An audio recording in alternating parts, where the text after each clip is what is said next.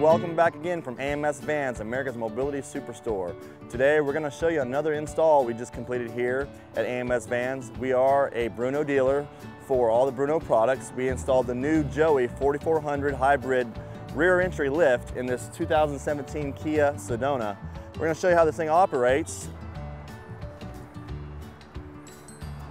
Some new features on the Joey, which is really, really nice. You do have a little magnetic strip on the back of this hand pendant, so you can kind of just attach it to anything that's metal, in and out. Pretty simple. The lift sits right back on top of the Stow 'n Go seats that fold down into the floor, which is a nice feature. That way, if you ever got to resell the van, you can pop the lift out, seats come up, there's no drilling required, you're good to go. So I'm gonna push out. New lift's really nice, comes out fast, and it's very quiet. A lot quieter than it used to be. We've got a little uh, four-wheel go-go uh, Pride scooter. You always do want to call your Bruno um, dealer to make sure your application is going to work first. They'll check that lift and they'll check the uh, proper scooter that's going to work with it too. All right, we're going to go back in. Again, it's really nice, really fast.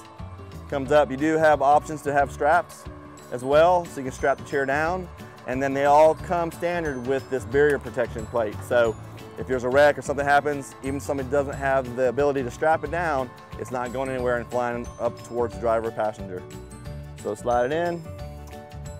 Again, this is the Bruno 4400 Joey lift. So uh, now they make them for SUVs too. My magnetic hand pendant, done. So a really nice application for people that don't really need a wheelchair van, but can still are still ambulatory, that can walk around to the driver passenger seat, you're good to go. So just remember, if you need a Bruno product like this, give AMS Vans a call and we'll get you what you need.